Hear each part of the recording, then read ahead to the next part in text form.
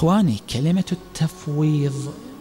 هذه الكلمة تستخدم لمعاني مختلفة. بعض هذه المعاني خاطئة بعض هذه المعاني كفر بالله عز وجل. التفويض تستخدم هذه الكلمة لمعنى في مقابل الجبر الذي قال أهل البيت عليهم الصلاة والسلام لا جبر ولا تفويض بل أمر بين الأمرين. هذا معنى. التفويض بعض الناس كانوا طبعا هؤلاء لعله انتهوا لعلك لا تجد شخصا على وجه الأرض اليوم يقول بهذا بهذه المقالة، هذه المقالة كانت في بعض الناس في بعض الناس المنحرفين عن الجادة في عصور سابقة قبل مئات السنوات، كانوا يقولون بالتفويض، يعني ماذا؟ يعني يقولون أن الله عز وجل خلق الخلق ثم ترك الخلق لأهل البيت.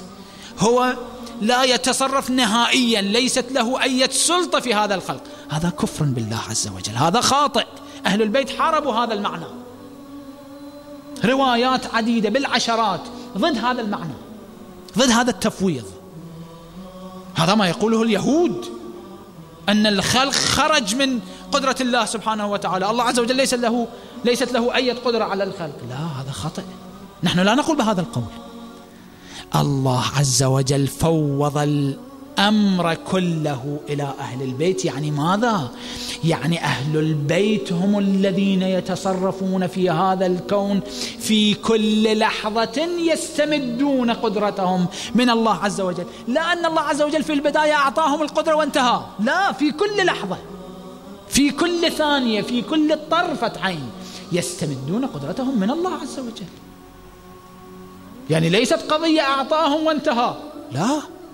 باستمرار اتصال.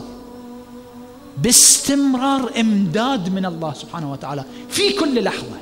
هذا المعنى الصحيح.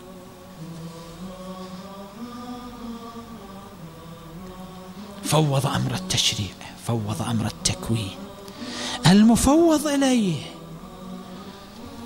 فوض دققوا في هذه الكلمة. فوض.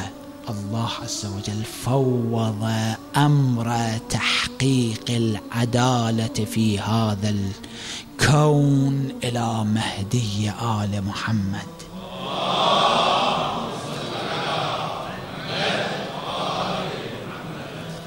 هذا أصعب من أنك تحيي آلاف الأموات.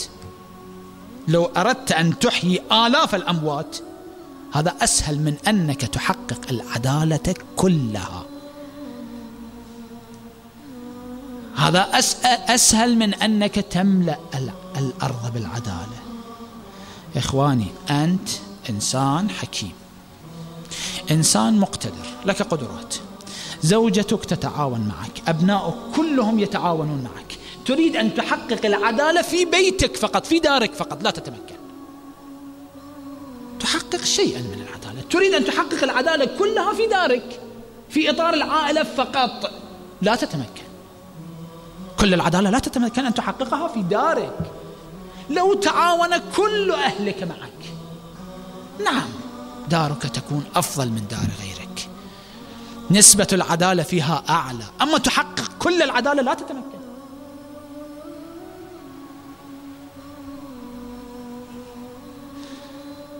الإمام أرواحنا فداه. هو يحقق العدالة هو هو بنفسه. هو مفوض دققوا في الكلمة. مفوض في تحقيق العدالة. أنا لا أقول رسول الله صلى الله عليه وآله ليس فقط في هذا الحديث. اقرأوا الروايات المتواترة بالمئات. الإمام رسول الله صلى الله عليه وآله. أهل البيت يصفون الإمام بهذا الوصف. يملأ الأرض. يملأ هذا وصف للإمام. يخرج فيملأ الأرض. هو يملأ. يعني بتخطيط منه بتنفيذ منه. هو هو هو. بنفسه الشريفة. يملأ الأرض. هذا وصف للإمام. يظهر فيملأ الأرض يخرج ف... من يخرج؟ الإمام. فيملأ. لا يحقق العدالة في بقعة صغيرة يملأ في كل الأرض. إخواني القضية ليست خاصة بالبشر. لا يملأ حياة البشر بالعدالة فقط. لا يملأ الأرض. يعني ماذا؟ يعني يملأ حياة البشر كلهم. يملأ حياة كل الحيوانات كل الحشرات كل الطيور كل الأسماك. يملأ حتى الجمادات حتى الأشجار حتى الأراضي حتى الجدران. هذا معنى يملأ. يملأ الأرض. النبي صلى الله عليه وآله لا يقول يملأ حياة الناس.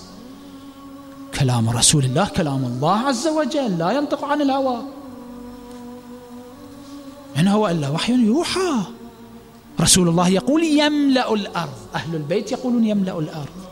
هو يملأ الأرض قسطا وعدلا. هذا ليس أصعب من إحياء آلاف من الأموات. أصعب.